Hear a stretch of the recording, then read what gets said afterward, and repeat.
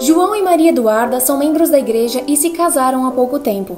Parte dos seus conflitos é que João teima em parecer ser super cordial com as outras mulheres à porta da igreja, não apenas conversando com elas, mas tocando-as, abraçando apertado e às vezes beijando no rosto.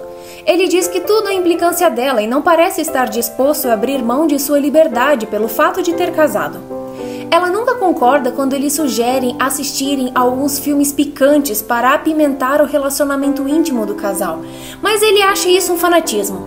A vida devocional dele é praticamente inexistente, porque João não acha a Bíblia interessante.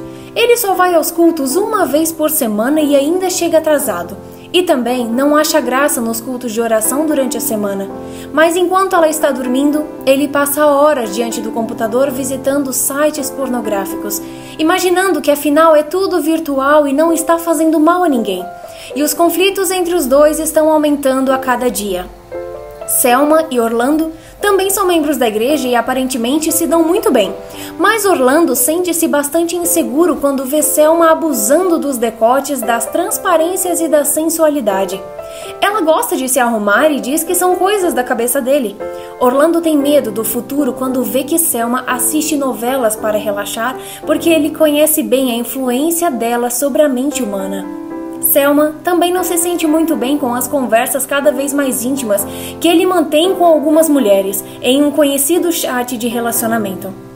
Apesar de saber que Orlando poderia não gostar se soubesse, ela acha que tudo isso é uma brincadeira e ela pode largar quando quiser.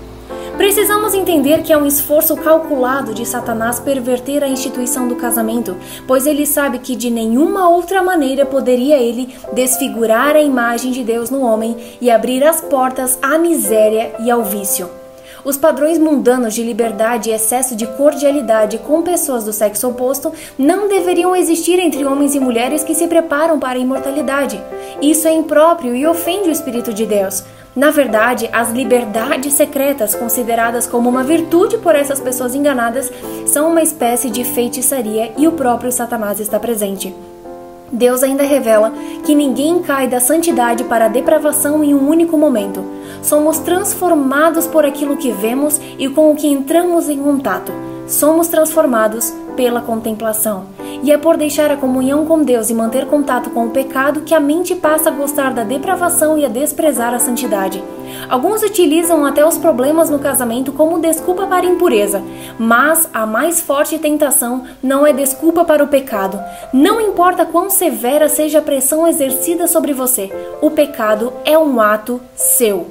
O centro da dificuldade é o coração não renovado.